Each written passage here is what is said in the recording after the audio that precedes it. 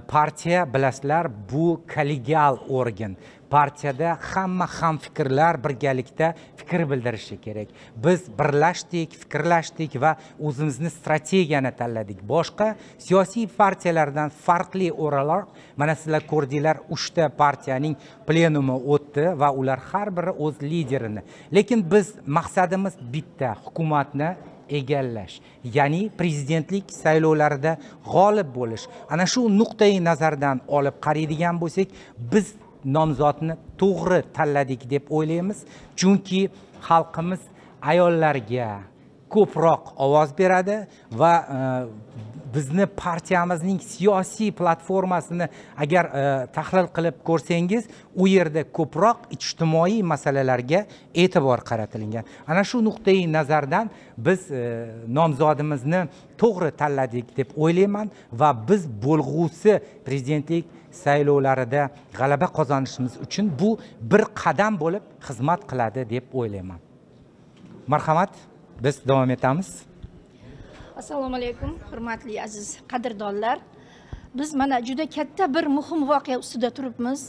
Xalq demokratik partiyasi saylovga kirib bormoqda va saylovga kirishda biz o'z dasturimiz bilan kirib boryapmiz. Dasturimizda albatta bizning asosiy maqsadimiz bo'lgan xalqning farovonligini ta'minlash.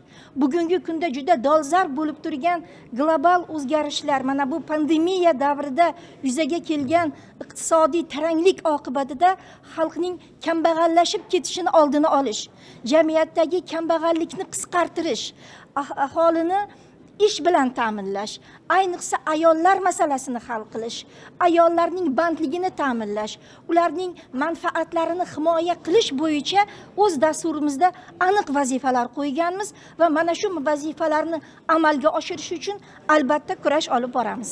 Maqsud azizovna prezidentlik prezidentlik saylovlarida nimani xohlayapsiz yoki nimani orzu qilyapsiz bir men emas ko'p ming sonli xalq demokratik partiyasi mana bu saylovlarda g'alaba qozonishni va o'zining dasturiy vazifalarini amalga oshirishni o'z oldiga nafaqat orzu balki maqsad qilib qo'ygan. Agarda e'tibor bergan bo'lsanglar bugun plenumda yoshlarimizni fikrlarini eshitdilar esa yoshlar ichida qizlarni fikrlarini eshitdingiz. Ular yangi siyosatchilar bo'lib shakllanishayapti. O'ylaymanki o'zbekistonni faol yoshlari ayollari umuman xalqimiz butunlay boshqacha fikr yuritadigan bo'ldi. Mana shu saylovlar orqali biz yana bir bor demokratiyani namoyon etamiz. Ochiqlik oshkoralikni bu yangi o'zbekistonning eng katta yutug'i bo'ladi deb o'ylaymiz va biz o'ylaymizki biz partiyamiz tomonidan ko'rsatgan nomzodimiz albatta yuqori o'rinlarni egallaydi va biz bu saylovlarda g'alaba qozonish uchun katta imkoniyatga egamiz va bu saylovlardagi faol ishtirokimiz bizni keyingi parlament saylovlari uchun katta bir zamin bo'lib xizmat qiladi deb o'ylaymiz. O'zbekiston boshqaruvini ayol kishiga topshirishga xalq ishonishiga siz ko'zingiz yetyaptimi? Bu shaxsga nisbatan ega bo'lgan ishonch emas. Bu partiyaning g'oyalari maqsadlari va dasturimizga bo'lgan ishonch. Xalq bizdan nimani kutayapti? Xalq bugun bizdan uning bugungi qiynab turgan uh, muammolarini hal qilishimizni ularni tizimli hal qilishimizni kutayapti. Biz o'zimizning saylovoldi dasturimizda mana shu muammolarni ya'ni ishsizlikni uy joy muammosini kommunal xizmatlardagi tariflarning e, e, nazoratsiz oshib ketishini yoki bo'lmasam oziq ovqatlarning narxini asosiy oziq ovqat turlarining nazoratsiz oshib ketishining oldini olmoqchimiz. Mana shu agar biz maqsadlarimizni xalqimizga to'g'ri yetkazib bera olsak albatta xalqimiz bizni qo'llab quvvatlaydi va g'alaba qozonamiz. Albatta bu yerda ta'lim sog'liqni saqlash bepul bo'lishi ijtimoiy demokratik davlatni tuzish tarafdori sifatida bizni partiyamiz oldinga qarab surayapti. Bu ijtimoiy shunday e, demokratik davlat tuzsakkina o'ylaymizki bu yerda ijtimoiy tenglik bo'ladi ijtimoiy barqarorlik bo'ladi.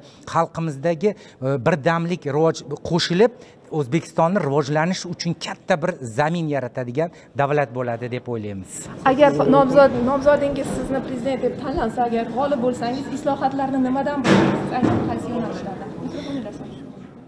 Islohotlarni bizni mamlakatimizdagi aholimizni qiynab turgan barcha o'tkir muammolar oldagi so'zimda aytib o'tdim. Birinchi masala xalqimizga ishsizlik masalasi bandlik masalasini hal qilish ayollarimizni qiynab turgan muammolarni hal qilishdan albatta ta'lim va tibbiyot sohasidagi aholimiz duch kelayotgan o'tkir muammolarni hal qilishdan. Prezidentlikka nomzod ko'rsatilishida gender tengligi omili hisobga olindi deb o'ylaysizmi nima hisoblaysiz bu masalada ko'pchilik chunki ulug'bek Ishonyapti. nomzodlarni kutgandik bugun kutilmaganda bo'ldi. Yaxshi hodisa bo'ldi. Xalq demokratik partiyasida gender tenglikka doimo e'tibor berilgan men faqat ayol bo'lganim uchun nomzod qilib ko'rsatilmadim. Mening fikrim mening fikrimcha men shu xalq orasidan chiqqan oddiy bir ona oddiy bir ayol bo'lganim sababli ham bugungi xalqimizni o'sha quyida quyi qatlamni qiynab turgan muammolarini ichidan bilganim uchun ham meni tanlashdi deb o'ylayman. Ha, maqsud azizovna davlat organlarida ayol kishilarning e, kamligi va ayol amaldorlarning kamligiga nima deya olasiz birinchi o'rinda mana shu mutaxassislarning to'g'ri tanlanishiga e'tibor berishimiz kerak. Shu kungacha tan olib aytishimiz kerak bizda agar ayol va erkak mutaxassis deb tanlanganda erkakka ko'proq imkon berildi. Gender tenglik deganda biz nafaqat ma'lum bir kasblarni ayol kishi tomonidan e, tanlanishi uni e, yoki bo'lmasam uni mansabga lavozimga tayinlanishda uni ayol bo'lgani uchun emas uning tajribasi uning saviyasi uning bilimiga e'tibor berilishini biz mana shu o'zimizni e, dasturimizda ham ko'rsatib o'tamiz va o'ylaymizki mana bugungi plenumda ko'rildi. Bizni ayollarimiz qizlarimiz o'rtasida yetuk mutaxassislar kelib chiqyapti. Albatta biz ulardan foydalanishni o'z oldimizga maqsad qilib qo'yganmiz.